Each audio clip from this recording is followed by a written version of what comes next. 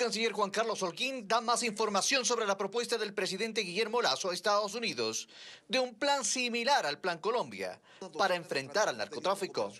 No lo llamaría un, plan Ecuador, pero sí hay un plan que requiere indudablemente una cooperación internacional eh, con, muchas más capacidades de las que se habían previsto. Sin embargo, esto abre temores de injerencia y pérdida de soberanía, según el correísmo y Pachacuti rebelde.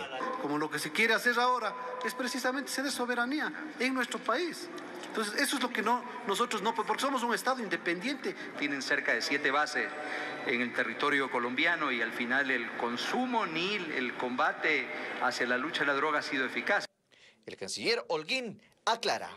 Hoy ya no se necesitan eh, bases peor aún extranjeras en, en, en, cualquier lugar. Lo que se necesitan son capacidades, se necesita una gran inversión en primer lugar eh, para dotación de infraestructura eh, para nuestras fuerzas públicas. En el bloque oficialista defienden la opción de recibir ayuda para enfrentar este mal. Para dar esta batalla juntos al narcotráfico. Lo mismo piensan en el Partido Social Cristiano.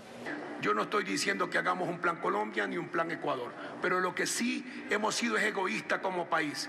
Los Estados Unidos regala a muchísimos países muchísimas cosas. Este jueves precisamente el correísmo no alcanzó los votos en su intento de que el Pleno trate una resolución contra la ley DAF que Estados Unidos busca aprobar para apoyar a Ecuador en temas de democracia y lucha contra la corrupción, entre otros.